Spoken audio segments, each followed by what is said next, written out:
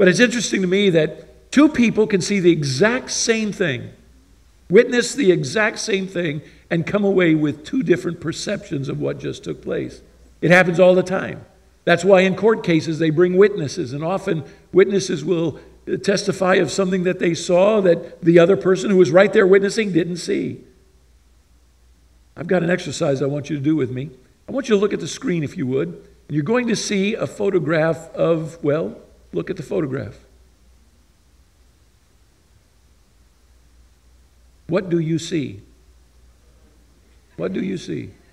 Hold it to yourself, don't say it. What do you see? What do you see?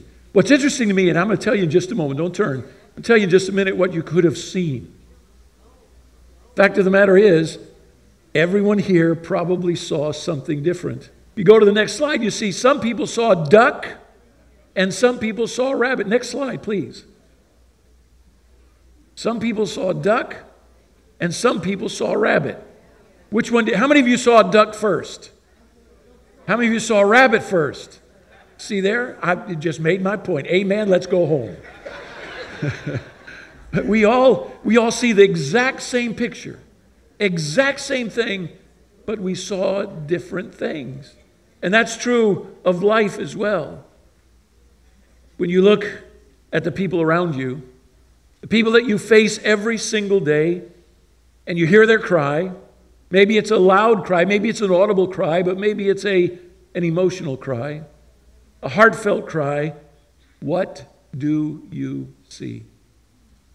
When you're driving your car, you go under one of the bridges here or overpasses in Houston, what do you see? You see, it's important to see something. And why is it important that what we see? Number one, what you see influences what you know. What you see influences what you know. And what you see influences where you go. And what you see influences what you do. Ultimately, if you see nothing, you know nothing, and you do nothing. Nothing gets done. What we see is important. And my question to you this morning is what do you see? But I'm not the first one to ask that question. Turn in your Bible to Mark chapter 8. We're going to go through this story. I'm going to go rather quickly for sake of time this morning. But, but it's a question that I didn't ask, it's a question Jesus asked. What do you see? Mark chapter 8, verse 22 through 26. I want to offer a word of prayer while you're turning. Father, speak to your word this morning. Anoint our eyes that we see clearly. And I pray, Heavenly Father, your word will lift a fire within our spirit and heart, not only for our life and for those around us, and not only for our maximum impact environment, but that you will give us eyes to see the world through your eyes. And we honor you and praise you for your word going forth and the Spirit bringing revelation in Jesus' name. And everybody said, Amen. I'm going to be reading Mark chapter 8, beginning with verse 22. And they came to Bethsaida, where Jesus was. And some people brought to him a blind beggar and begged him to touch him. Begged Jesus to touch the blind beggar. Now, I want to add here this morning, and you're going to hear that word beggar over and over again because he was a beggar. But that man represented more than just himself. That man represented an outcast. He had no power. He couldn't even get to Jesus on his own. Somebody had to bring him to Christ. Somebody cared enough to be the catalyst for his miracle. That miracle would not have occurred had not somebody cared enough about that beggar. That man who had no power, no authority of his own, could not navigate through the world on his own, but had to rely upon the compassion, upon the care of others around him. And somebody was the catalyst for the miracle that was about to take place. We don't know the names. We don't know the name of the beggar, we don't name, know the name of the one who brought him to Jesus. Verse 23. And he took the blind beggar, Jesus, took the blind beggar by the hand, and, excuse me, and he took the blind beggar, Jesus, by the hand and led the beggar out into the village. And remember, he's a beggar. He has no authority, he has no power. And then Jesus spit and had the beggars and And Jesus had spit on the beggar's eyes and laid his hands on him. And Jesus asked the question that I've already asked What do you see? Not everything that God does has to be on display. The Bible tells us that Jesus took him away from the crowd. He took him away. Isn't that interesting? That most of the time in a religious environment, everybody wants to see what's going on. Everybody wants to be involved in what's going on. It's, as though we call the news media and say, We're going to have a healing service today because we want the word out. What did Jesus do? Jesus took him to a solitary place. No one else was there, save the disciples. And I want you to know this morning not everything that God does has to be on display. Not everything God does has to be on display. And don't be discouraged if God does something miraculous in your life and nobody seems to get excited about it but you. It's for you, it's God's work for you personally in your life. Jesus asked the beggar the question, the one who had no authority, had no power. He asked him the question, What do you see? And this morning I ask you that question as well. I ask all of us that question What do you see? Verse 24 The beggar looked up and said, I see people, but they look like trees walking. The beggar who could not see before, who relied upon somebody else to be the catalyst of his miracle, now he could see. Praise God! Miracle took place. The man who could not see can now see. But what did he see? He saw people that looked like trees walking. Now, it indicates to me that perhaps he could see at one time because he knew what a tree was. But he didn't, he could see, but he couldn't see clearly. Couldn't see clearly. He might have said, I'll settle for that. And I don't you know that a man who could not see was blind and now could see something would be happy with that. But Jesus wasn't happy with that. Because Jesus doesn't do anything halfway. When Jesus does something, he does it all the way. The good work that he began in you, he will see it through until it is complete. Not complete by our standards, not complete by our desires, but complete by his will. He asked the beggar, What do you see? The answer is, I see, but I, I don't see clearly. And Jesus said, That's not enough. And I ask you the same question this morning What do you see? And do you see clearly? Verse 25 Then Jesus laid his hands on the beggar's eyes again. Aren't you glad that Jesus was going to complete this miracle? And he will complete the miracle in your life as well. He'll complete that good work that he started. The journey is only in the beginning, and he will see it through until that journey is complete. Jesus never settles for things done halfway. And it is our responsibility as believers to press in all the way. Not to settle, but to press in. And the scripture goes on to say, and the beggar opened his eyes after Jesus prayed with him in that private place because Jesus laid his hands on him again.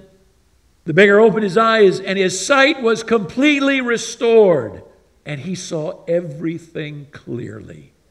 Boy, that's, that's, that's something to shout about. The man could see for the first time or perhaps regain his sight. And Jesus sent him to his home, saying, Do not enter into the village again. How many times Jesus would heal, do a miraculous work in somebody's life, and say, Don't tell anybody. Don't tell anybody. Jesus asked the beggar, What do you see? And The beggar's response is, I see, but I don't see clearly. And the beggar might have been, you, you know, I, I, don't know exactly the, the dynamics of this, of this story. It could have been that when the beggar could see, there had to be rejoicing in his heart. He had to be, uh, be celebrating the fact that he could see anything. And he might have even said, I can see, I, I can't see clearly, but thank you, Jesus, and turned to walk away. And if he had done that, if that would have been his posture, I believe Jesus would have grabbed him and pulled him back and said, I'm not done yet. And I want you to know this morning the promises that God has made to you and the work that God has done to you, don't walk away. God isn't finished yet and he will complete that work. He asked the beggar, What do you see? I, I see, but I don't see clearly. And Jesus said, That's not good enough. And he touched him again with that final touch that touch of compassion, that touch of love, a touch of power. His eyes were open and he could see. But not only could he see, brothers and sisters, he didn't need glasses. He could see 2020. Perfect sight, because what Jesus does is always perfect. I challenge you today with the words, the question, what do you see? Man was a beggar, no value to society. He had nothing to contribute, to give, in fact, only to receive. He was only a taker, forgotten, belittled, and outcast. And yet, someone cared about him. Someone cared about his situation. Can I tell you? The question, what do you see? This person that brought this beggar to Jesus could see something nobody else saw.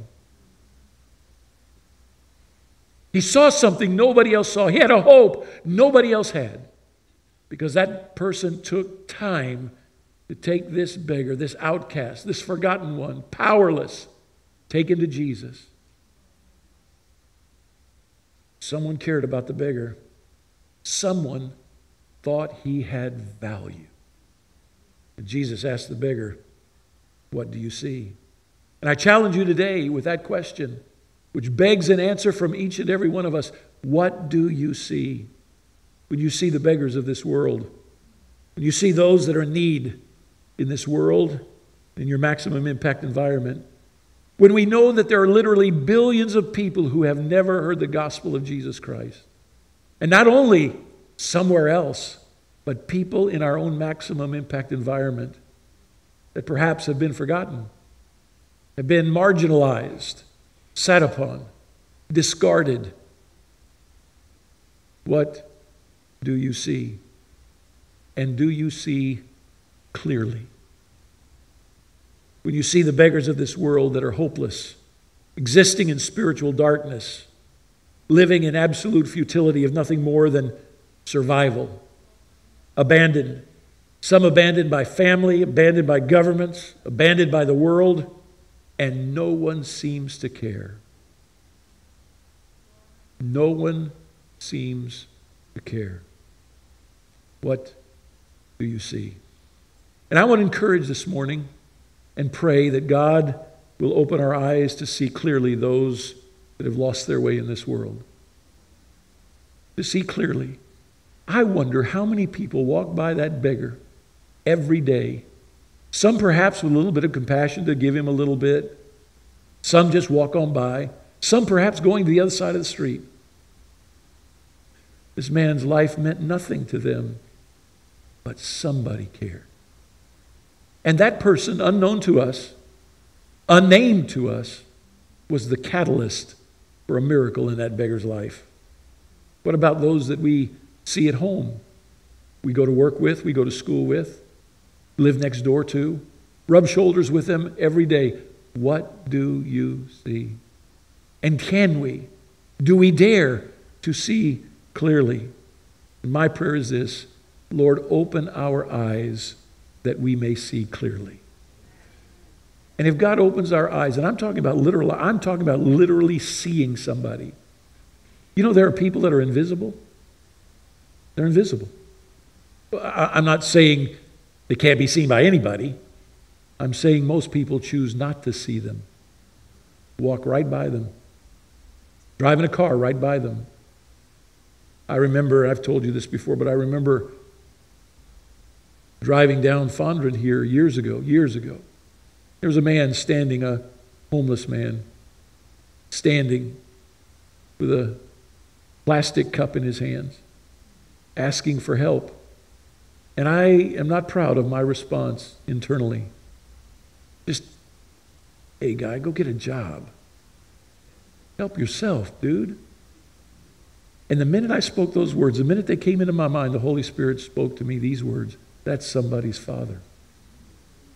That's somebody's brother. That's somebody's husband. That's somebody. Broke my heart that I had such a calloused attitude. And it's easy to do, it's easy to have that kind of attitude. But this beggar found his healing, found his deliverance because somebody saw him, somebody cared.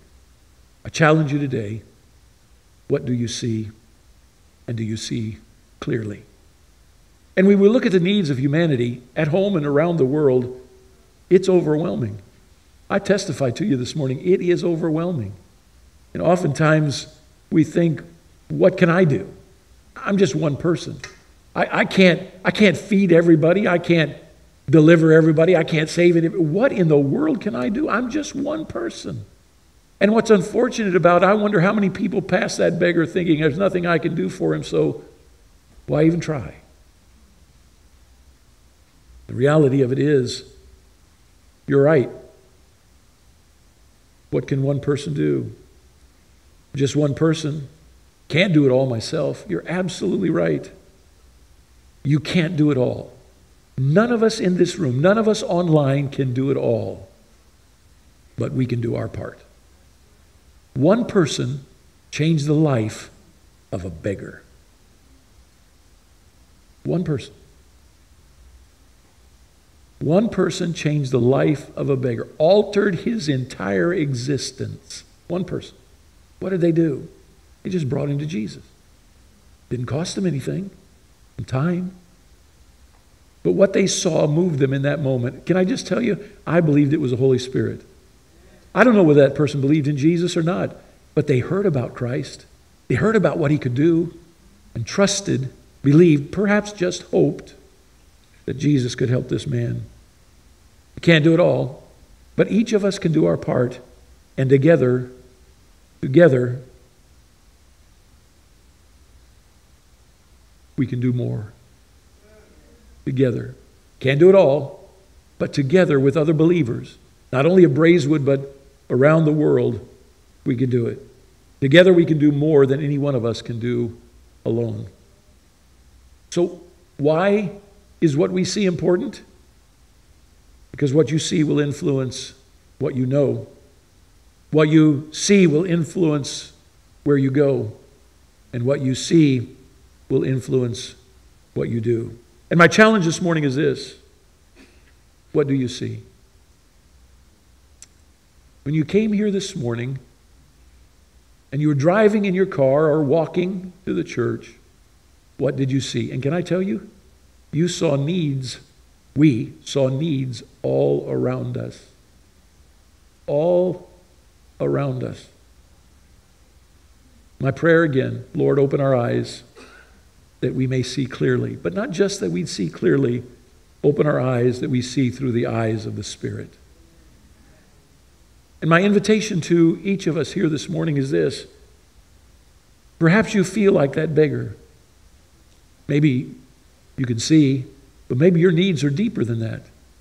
Maybe you feel hopeless. Maybe you feel as though you're swimming upstream in spiritual darkness. Maybe to you life is futile. Nothing you do gets you ahead, nothing you do seems to matter to you or perhaps anybody else.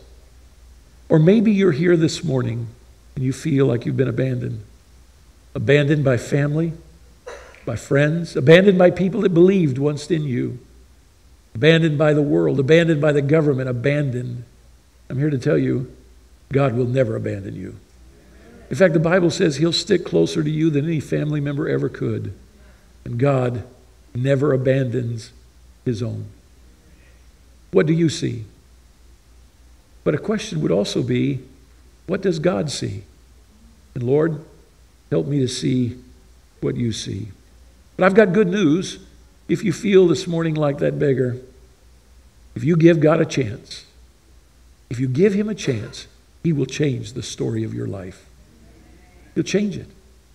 It, it may not be as drastic as blinded eyes opened, but remember, the beginning was his eyes were open, though he couldn't see clearly. But Jesus wasn't satisfied with that. It may be the beginning is new life, a new beginning, new hope, establishment of more than just existence and survival. But I'm telling you this that's not the end. When you come to Jesus, that's just the beginning of what he will do in your life. And he will, com- he will continue to work in your life until he is finished. And how will that be? How long will that be? For the rest of your life. He will be with you. He'll walk with you. And my brother and sister, though everyone in the world abandons you, Jesus will never abandon your life. He's with us always, the Bible says, even to the very end of this world. I have good news for you. Turn your life over to Jesus. It's as simple as that. Not complicated. It truly is not complicated. Humanity makes everything complicated, God keeps everything simple. Come to the Lord. The Bible says faith. What is faith? Trust. Just trust God. But Pastor Steve, I don't know how much I can trust him. I'm, I'm new to this. I, I, have been hurt so much. I, I, I'm, I'm hesitant of trusting anybody. Well, God knows that. If you'll just come to him as much trust as you have in this moment, he'll accept you just the way you are. He'll take you just the way you are. Messed up, lost, he'll accept you just the way you are.